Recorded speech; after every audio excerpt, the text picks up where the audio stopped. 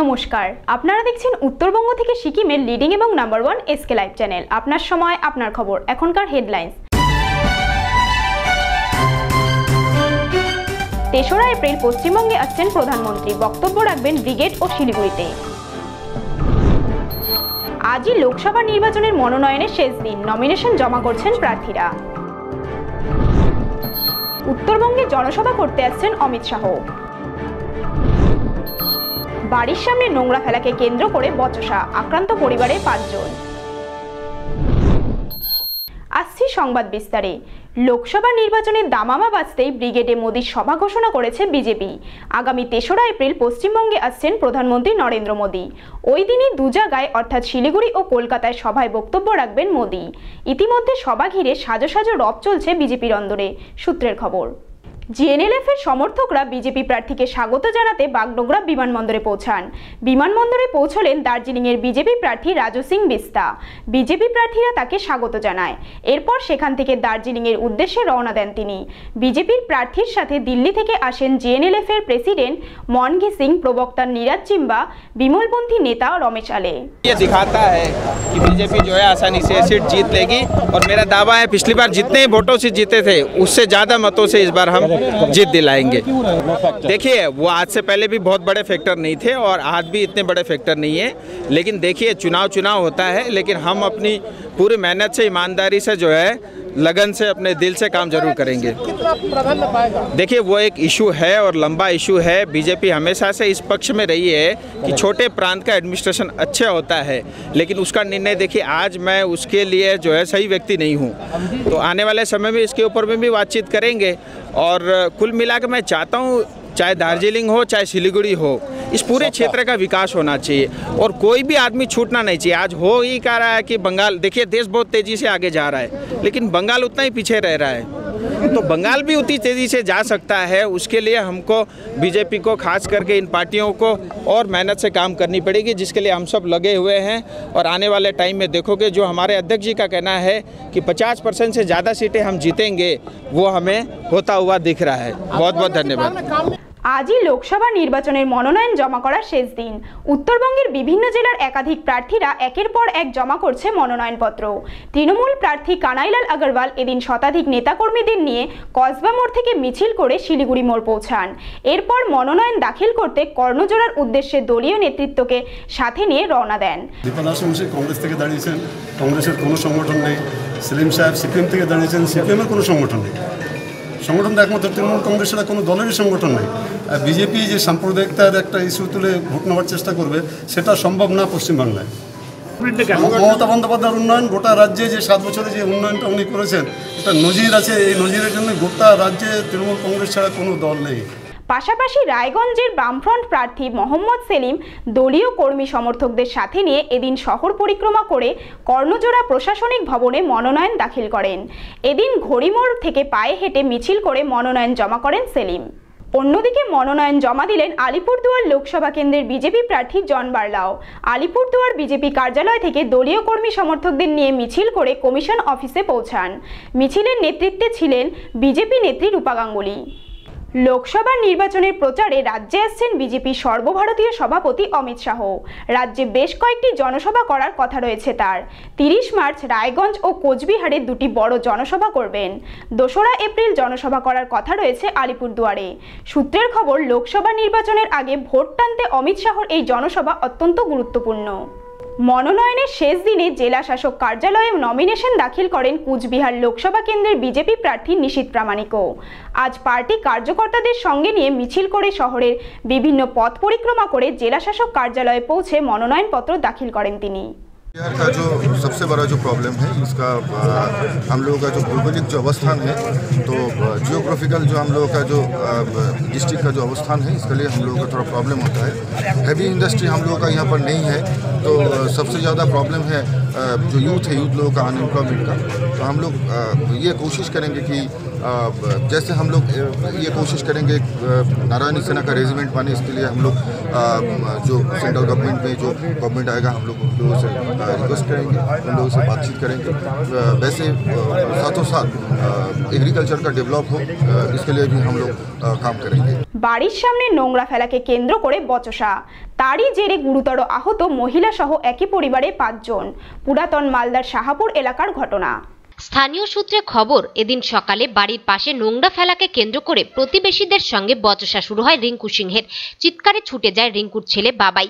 অভিযোগ সেই সময় প্রতিবেশী শঙ্কর মণ্ডল বাবাইকে মারধর করে। তাকে বাঁচাতে গিয়ে আক্রান্ত পরিবারের অন্যান্য সদস্যরা লোহার রড দিয়ে মারধর করা হয় তাদের। স্থানীয়রা তাদের উদ্ধার করে মালদা মেডিকেল কলেজ হাসপাতালে ভর্তি করে। আমার দিদি হালকা নোংরা ওদের বাড়িতে, তো আমার ভাগনা দুটাকে বাড়িতে ঢুকে একদম মারধর করেছে ওদের। শঙ্কর ঘোষ আর রঞ্জন ঘোষ এরকম নামে ওরাই। তারপরে আমার জায়গা আমাদেরকে নিয়ে গিয়ে মীমাংসা করার জন্য নিয়ে গেল তো ওরা লাঠি লাঠনা একদম রড ফট দিয়ে আমাদের পাঁচজনকে পুরো মাথা ফাটিয়ে ফুটিয়ে একাকার করে দিয়েছে। পাঁচজন এখন কোথায়? পাঁচজন এখন হাসপাতালে ভর্তি আছে। তার মধ্যে কোনো মহিলা আছে? আর আমার দিদি আছে। আজকে সকালে ঘটনা ঘটেছে? আজকে সকালে সাড়ে সাতটার দিকে। কোথায় হয়েছে ঘটনাটা? এটা শাহপুর। কোথায়? ইয়াংস্টার ক্লাবের ওখানে। এখন সবাই কোথায়? পাঁচজনই ভর্তি মালদাতে? হাসপাতালে ভর্তি আছে। কে কে মেরেছে নামগুলো কি বলবেন আর দুজনের নাম জানি হয়তো আমি শঙ্কর ঘোষ আর রঞ্জন আহ, শ- শঙ্কর মণ্ডল আর রঞ্জন মণ্ডল এখন একটু বিরতি ফিরে আসছি বিরতির পর देश को विकास आणि नया भारत को निर्माण गर्न आउँदो चुनावमा तपाईँहरू सबैले अवश्य भोट हाल्नुहोस् घर त त्यसै नै बनिँदैन सपना देख्नुपर्छ सपना जुन चाहिँ रङहरूमा देखिन्छ रङ जुन चाहिँ दिवारमा खेल्छ कदमको हर आहटमा खुसी देखिन्छ उम्मेदमा त सालै साल सपनाको घर बनिन्छ सुन्दर दिवारमा स्वर्ग जुन आफ्नो बस्यो धरतीदेखि आकाशसम्म रङ्ग हो पिआइएसको PIS Pashupati Infra and Suppliers exclusive store for premium flooring and wall texture. Create your own world in your way. PIS, the Planet Mall, second floor near Cosmos Mall, opposite North City, Sivak Road, Siliguri. For inquiry, call 9733341141. के तपाईँ काखी र खुट्टा गन्हाउने समस्याले पीडित हुनुहुन्छ प्रस्तुत छ फ्रेडोरा पुरुष र महिलाको निम्ति एउटा सय प्रतिशत आयुर्वेदिक उत्पादन शरीरको दुर्गन्धबाट सम्पूर्ण मुक्ति अनुभव गर्नुहोस्। फ्रेडोरा जसलाई ज्वालामुखीय पृथ्वीबाट जडीबुट्टी र खनिजहरूद्वारा तयार गरिएको छ।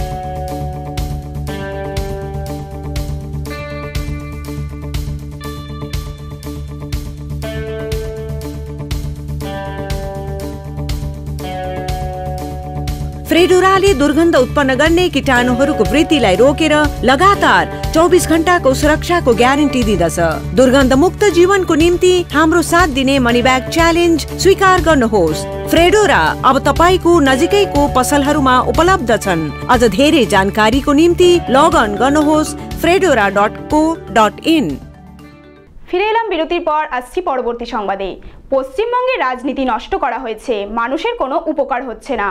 মন্তব্য করলেন বিজেপি নেত্রী রূপা গাঙ্গুলি। আলিপুর দুয়ারে আসেন তিনি আজ। প্রার্থী জন বার্লার সঙ্গে রোড শো করে মনোনয়ন জমা দেন। সেখান থেকে কোচবিহারের উদ্দেশ্যে রওনা হন রূপা গাঙ্গুলি। এদিন তিনি সাংবাদিকদের মুখোমুখি হয়ে বলেন, এবার মানুষের প্রতিনিধি হয়ে আমরা যখন সবাই মিলে একসঙ্গে কাজ করি, তখনই কাজটা সম্পন্ন হয়। আমরা, দেখুন, রাজনীতিটা এইভাবে এই পশ্চিমবঙ্গে নষ্ট করতে করতে এমন জায়গায় এনে ফেলা হয়েছে যাতে মানুষের কিন্তু উপকার হয়নি। আমরা এখনও কিন্তু হাওয়াই চপ্পলের নেতা, হাওয়াই চপ্পলের দিদি এসব বলে বলে দিন কাটাচ্ছি। মানে কিন্তু আমি তো চাই যে সবাই ভালোভাবে থাকুক। মানে একটা গ্রুপ হাওয়াই চপ্পল পরেই কোনো রকমে বাঁচবে, তাদের খাবার জুটবে না আর আরেকটা দল ভালো করে থাকবে তা তো হতে পারে না। একটা সিম্পল জিনিস ভাবার চেষ্টা করুন। মানুষের আজকের তারিখে দাঁড়িয়ে একজন সাধারণ মানুষকে আমাদের মতন পরিবার থেকে উঠে আসা মানুষদের অন্ততপক্ষে পঁয়তাল্লিশ থেকে পঞ্চাশ বছরের আগে অবধি একটা মাথার উপরে ছাদ বোঝার কোনো ভাবনা, চিন্তার মধ্যে ছিল না। কোনোদিন কেউ ভাবতে পারেনি যে কতটা টাকা জমাতে পারলে সারা মাসে একটু একটু করে মাথার উপরে একটা ছাদ হবে। সেইটা কোটি কোটি ছাদ করে দিলেন ভারতীয় জনতা পার্টির দেশের নেতা প্রধানমন্ত্রী নরেন্দ্র মোদীজি। পঞ্জিকা কিংবা তিথি বিশ্বাস করি না। আমাদের কাছে প্রতিদিনই শুভ ও প্রতিদিনই ভালো। যার ফলে আমরা এইসব কুসংস্কার মানি না। সোমবার মনোনয়নপত্র জমা দিয়ে জলপাইগুড়ি সিপিএম প্রার্থী ভাগীরথ রায় সংবাদ মাধ্যমের মুখোমুখি হয়ে কথা জানান। এদিন ডিবিসি রোডের বামফ্রন্টের জেলা পার্টি অফিস থেকে মিছিল শুরু করেন দলের নেতাকর্মীরা। মিছিলে উপস্থিত ছিলেন জেলা আহ্বায়ক সলিল আচার্য, প্রাক্তন সাংসদ জিতেন দাস সহ অন্যান্য নেতাকর্মীরা। প্রায় পাঁচ শতাধিক বামফ্রন্টের নেতাকর্মী উপস্থিত ছিলেন এদিন। সকালবেলায় কাগজপত্র শেষ তুলির টান। গতকাল অনেক রাত পর্যন্ত সেগুলো গোছাতে হয়েছে। আজকে আর চোখ বুলিয়ে নিতে হলো। এখানে ছাব্বিশ পূর্বে যে কোথাও সই সাবুত ইত্যাদি বাদ থাকল কিনা এই এইভাবেই শুরু হলো। পঞ্জিকা দেখেছিলেন আজকে? না না না, আমরা ওই পঞ্জিকা বা এই ধরনের ইয়ের নীতিতে আমরা বিশ্বাস করি না। আমরা মনে করি প্রত্যেকটা দিনই শুভ প্রত্যেকটা দিনই ভালো।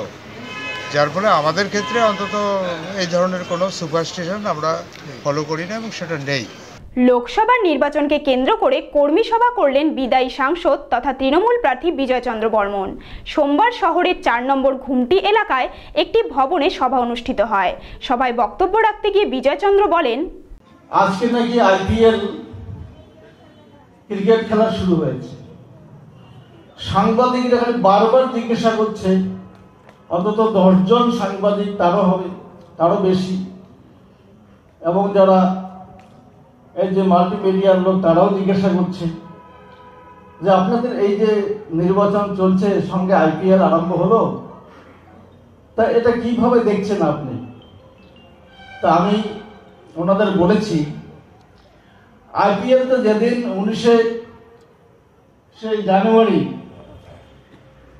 ব্রিগেড প্যারেডের যে জনসভা সেদিন থেকে আমাদের আইপিএল শুরু হয়ে গেছে। সেদিন থেকে শুরু হয়ে গেছে। সুতরাং ওনারা আরও একটা প্রশ্ন করেছিলেন যে যুবক ভাই যে ছেলেমেয়েরা রয়েছে, তারা তো নির্বাচনের যে কাজকর্ম একটু তাদের কম করবেন ওই না আবার কম করবে না। কারণ আমাদের ক্যাপ্টেন মাননীয় মমতা বন্দ্যোপাধ্যায়, তার নির্দেশ এবং আদর্শ সামনে রেখেই তারা খেল- খেলায় নেমেছে। তাই আমরা যেটা প্রথমেই শুরু করেছি, যে যাতে আমরা ফার্স্ট বলেই কেন্দ্রের সেই বিজেপি সরকারকে আউট করে দিতে পারি। দীর্ঘ আট বছর থেকে পেটের যন্ত্রণা, সহ্য করতে না পেরে অবশেষে বিষ খেয়ে আত্মহত্যা করল বৃদ্ধ। মালদা গাজল থানার পান্ডুয়া গ্রাম পঞ্চায়েতের আদিনা এলাকার ঘটনা। পুলিশ সূত্রে জানা যায়, মৃতের নাম মঙ্গল সিংহ। দীর্ঘ আট বছর থেকে পেটের যন্ত্রণায় ভুগছিলেন। বিভিন্ন চিকিৎসকের দ্বারস্থ হয়েও সারেনি ব্যথা। এই অবসাদে বিষ খেয়ে আত্মহত্যা করে ওই বৃদ্ধ। পুলিশ মৃতদেহ উদ্ধার করে ময়না তদন্তে পাঠায়। জলপাইগুড়ি লোকসভা কেন্দ্র থেকে সোমবার নিজের মনোনয়নপত্র জমা দেন কংগ্রেস প্রার্থী ডুয়ার্সের চা শ্রমিক নেতা মণিকুমার দার্নাল। এদিন দলীয় কর্মীদের নিয়ে মিছিল করে জেলাশাসকের দপ্তরে পৌঁছান তিনি। সঙ্গে ছিলেন জেলা কংগ্রেস সভাপতি নির্মল ঘোষ দস্তিদার, সহসভাপতি সুভাষ বক্সি সহ অন্যান্য নেতৃত্বরা। দেখিয়ে সকল ভোটারদের শুভকামনা চেয়ে আজকে দিনটা শুরু করলাম। আর যখন আপনি এলেন মোদি মোদি স্লোগান। এটা তো হতেই থাকবে এটা মানে কংগ্রেস গভর্নমেন্টের তৈরি করা গণতান্ত্রিক কাঠামোতে এই তো অধিকার কংগ্রেস সংবিধান যে পার্টি করেছে সে পার্টি হচ্ছে কংগ্রেস পার্টি। হ্যাঁ তাহলে এটা থাকবেই। আমরা এটাতে অন্যায় কিছু দেখছি না। কি আছে? ভোট ফেস্টিভ্যাল মুড আছে ভোটের মনোনয়নপত্র পেশ করলেন জলপাইগুড়ি লোকসভা কেন্দ্রের বিজেপি প্রার্থী ডক্টর জয়ন্ত রায়ও। জলপাইগুড়ি জেলা বিজেপি অফিস থেকে সকল কার্যকর্তাদের নিয়ে একটি বিশাল মিছিল করে জেলা শাসকের দপ্তরে যান প্রার্থী। জলপাইগুড়ি পুরসভার তত্ত্বাবধানে ও ছাত্র যুব সংগঠন ওয়াইবি ভিওর পরিচালনায় দিনবাজার সংলগ্ন এলাকা রেসকোর্স পাড়া এবং হাউজিং কমপ্লেক্স এলাকায় চলল সচেতনতামূলক সাফাই কর্মসূচি। চুন, ব্লিচিং পাউডার ছড়িয়ে এবং জনগণকে পরিবেশ রক্ষা বিষয়ে সচেতন করা হয়। এদিন শহরকে আরও স্বচ্ছ ও সুন্দর করে তোলার আহ্বান জানান ছাত্র যুবরা। কমিটির কনভেনার সুপ্রিয় চন্দ জানান জানেন যে জলপাইগুড়ি পৌরসভার উদ্যোগে মাননীয় পৌরপিতা মোহন বোস তার বিশেষ অনুপ্রেরণায় সারা শহর জুড়েই চলছে সাফাই অভিযান, যেটা আমরা গত মাসে, গত জানুয়ারি মাসে দু হাজার উনিশের আমরা একটি বৈঠক করে আমরা পৌরসভা থেকে একটি স্বেচ্ছাসেবী দল ইয়ং বেঙ্গল ভলেন্টিয়ার্স অর্গানাইজেশনের সদস্যরা এবং শহরের বিভিন্ন অংশে ছাত্র যুবরা মিলে কাউন্সিলরদের তত্ত্বাবধানে বিভিন্ন ওয়ার্ডে সাফাই অভিযানগুলো চলছে। পাশাপাশি ব্লিচিং পাউডার ছড়িয়ে বিভিন্ন প্রচার অভিযানও আমাদের চলছে পৌরসভার পক্ষ থেকে। তারই অংশ হিসেবে আজকে আমরা পাঁচ নম্বর ওয়ার্ডে আমাদের কর্মসূচি গ্রহণ করেছিলাম। এই ওয়ার্ডে যিনি কাউন্সিলর সন্দীপ মাহাতো, তিনি প্রথম থেকে এই কর্মসূচির সঙ্গে বিশেষভাবে যুক্ত এবং সন্দীপ মাহাতো তত্ত্বাবধানে এবং পৌরসভার পৌরপিতা মাননীয় মোহন বোসের অনুপ্রেরণা এবং উদ্যোগে এবং ইয়ং বেঙ্গল ভলেন্টিয়ার্স অর্গানাইজেশনের সমস্ত ছাত্র যুবদের সাথে নিয়ে আজকে এই কর্মসূচি আমরা করেছি। এখানে ব্লিচিং পাউডার ছড়ানো হয় এবং এরপর আমরা মারোয়ারি গার্লস স্কুলের ছাত্রীদের মধ্যেও এই বিষয়ে বিশেষ প্রচারাভিযান চালাবো। আজকে জলপাইগুড়ি পিডি উমেন্স কলেজের ক্যাম্পাসে ইয়ং বেঙ্গল ভলান্টিয়ার্স অর্গানাইজেশনের তরফ থেকে রাহুল বণিক, সুপ্রিয় চন্দ্র আর কিরঞ্জিত রায় এসছেন এবং তারা তাদের উদ্দেশ্য আমার কাছে পরিষ্কার করে বললেন এবং তারা গত কয়েক বছর ধরেই জলপাইগুড়ি মিউনিসিপ্যালিটির সাথে যৌথ উদ্যোগে এখানে অনেক ধরনের সমস্যামূলক কাজ প্লাস পরিবেশ সংক্রান্ত অন্যান্য কাজ তারা করে যাচ্ছে। আজকে আমার কলেজের ক্যাম্পাসের চারিদিকে নর্দমাগুলোতে তারা ব্লিচিং পাউডার ছড়িয়ে গেছেন এবং আমরা মনে করি তাদের এই মহতি প্রয়াসের ফলে জলপাইগুড়িতে একটা নতুন যুগের সূচনা হবে। উত্তরবঙ্গ এবং সিকিমের নিউজের আপডেটসগুলো জানতে ইউটিউবে আমাদের চ্যানেলটি সাবস্ক্রাইব করুন আর ফেসবুকে শেয়ার অ্যান্ড লাইক করুন। আজ এ পর্যন্তই। পরবর্তী সংবাদ জানতে নজর রাখুন এসকে লাইভে। আপনার সময়, আপনার খবর। নমস্কার।